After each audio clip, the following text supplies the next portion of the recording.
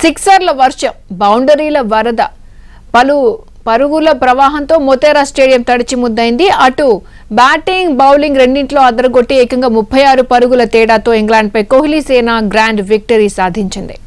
ఐదు టీ ట్వంటీల సిరీస్లో భాగంగా అహ్మదాబాద్ వేదికగా జరిగిన ఆఖరు టీ ట్వంటీలో టీమిండియా గ్రాండ్ విక్టరీ సాధించింది. టాస్ ఓడి తొలుత బ్యాటింగ్ చేసిన భారత్ ప్రత్యర్థి ముందు రెండు వందల ఇరవై ఐదు పరుగుల భారీ లక్ష్యాన్ని ఉంచింది. టార్గెట్ ఛేదనలో ఇంగ్లాండ్ జట్టు ఆరంభంలో మెరుపు దాడి చేసినప్పటికీ క్రమంగా పట్టుకోల్పోయి మ్యాచ్ను చేదార్చుకుంది.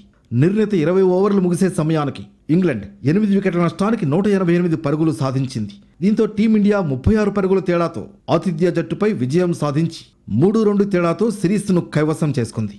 తొలుత టాస్ గెలిచిన ఇంగ్లాండ్ జట్టు ఇండియాకు బ్యాటింగ్ అప్పగించింది. రోహిత్తో కలిసి బ్యాటింగ్కు దిగిన కెప్టెన్ కోహ్లీ తొలి ఓవర్ నుంచే ఇంగ్లీష్ బౌలర్లపై ఎదురుదాడికి దిగారు. ముప్పై నాలుగు బంతుల్లో నాలుగు ఫోర్లు ఐదు సిక్స్లతో రోహిత్ అరవై నాలుగు పరుగులు సాధించి అవుట్ అయ్యాడు వన్డౌన్లో వచ్చిన సూర్యకుమార్ యాదవ్ కోహ్లీ తోడుగా బౌండరీలు బాదాడు. ఆ తర్వాత హార్దిక్ పాండ్యా ముప్పై తొమ్మిది పరుగులతో బ్యాట్ ఝుళిపించాడు చివరి వరకు క్రీజులో పాతుకుపోయిన కెప్టెన్ కోహ్లీ ఎనభై పరుగులతో నాటౌట్గా నిలిచాడు. కోహ్లీ యాభై రెండు బంతుల్లో ఏడు ఫోర్లు రెండు సిక్స్లు బాదాడు. దీంతో నిర్ణీత ఇరవై ఓవర్లలో టీమిండియా రెండు వికెట్లకు రెండు వందల ఇరవై నాలుగు పరుగుల భారీ స్కోర్ చేసింది.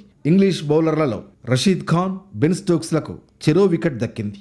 అనంతరం బ్యాటింగ్ దిగిన ఇంగ్లాండ్ను పేసర్ భువనేశ్వర్ కుమార్ ప్రారంభంలోనే దెబ్బ కొట్టాడు.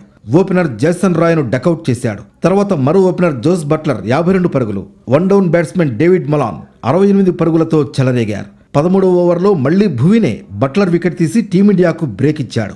ఆ తర్వాత పదిహేను ఓవర్లో జానీ బెయిర్స్టో డేవిడ్ మలాన్ వికెట్లను శార్దూల్ ఠాకూర్ ఒకే ఓవర్లో పెవిలియన్ చేర్చి కోలుకోలేని దెబ్బ కొట్టాడు. ఇంగ్లీష్ బ్యాట్స్మెన్ ఎవరూ పెద్దగా స్కోర్ చేయలేదు. దీంతో నిర్ణీత ఇరవై ఓవర్లలో ఎనిమిది వికెట్లు కోల్పోయిన ఇంగ్లాండ్ నూట ఎనభై ఎనిమిది పరుగులు మాత్రమే చేయగలిగింది. ఈ విజయంతో టీమిండియా మూడు రెండుతో సిరీస్ను కైవసం చేసుకుంది.